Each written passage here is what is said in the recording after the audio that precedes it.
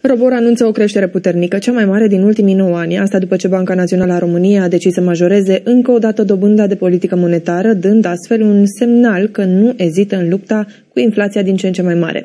Dezbat subiectul cu Irina Chițu, analist economic. Bun găsit, mulțumim pentru prezență. Care Bine, credeți, care credeți că vor fi efectele acestei scumpiri?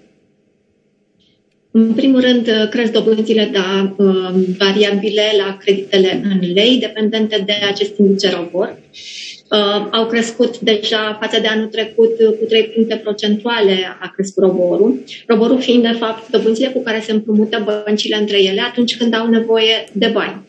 Uh, cât cotează că se împrumută între ele la uh, pe o perioadă de 3, 3 uh, luni.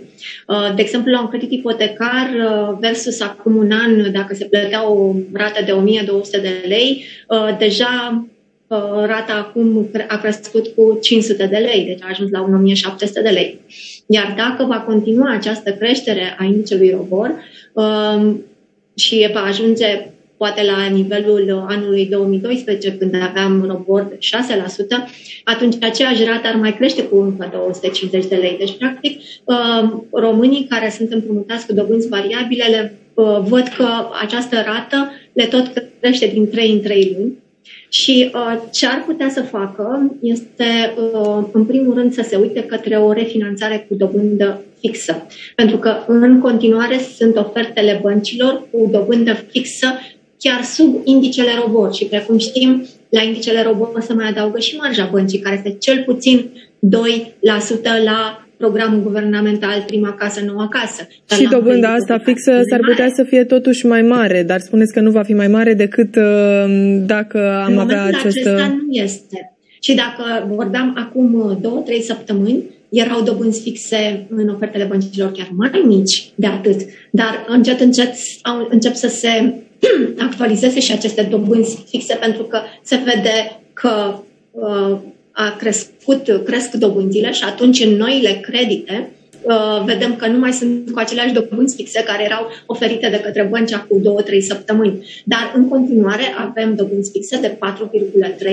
4,3%. Deci să ai un 4,3% doar atât dobândă fixă 5 ani, 10 ani, 15 ani, atunci este mult mai convenabil decât un robor de care a trecut de 4,6 din, încă, de, încă de ieri, uh, plus marja uh, băncii de cel puțin două puncte procentuale, care, într-adevăr, crește ratele. Dacă vorbim de celălalt indice, uh, IRCC, acesta este decalat cu, odată calculul lui este decalat cu două trimestre, deci acum uh, IRCC-ul este calculat pe baza dobânzilor cu care s-au împrumutat efectiv băncile între ele pe toate scadențele în perioada, în ultimul trimestru a anului trecut, deci în perioada octombrie-decembrie 2021, când dobânzile nu erau atât de mari, uh, dar va crește și acesta spre sfârșitul anului, pentru că prinde dobânzile de acum.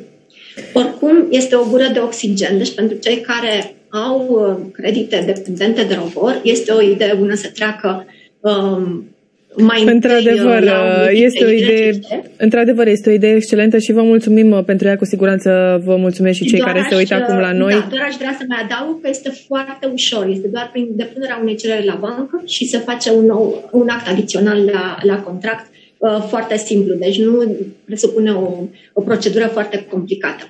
Sună excelent. Mulțumim tare mult pentru toate lămuririle, doamna Chițu.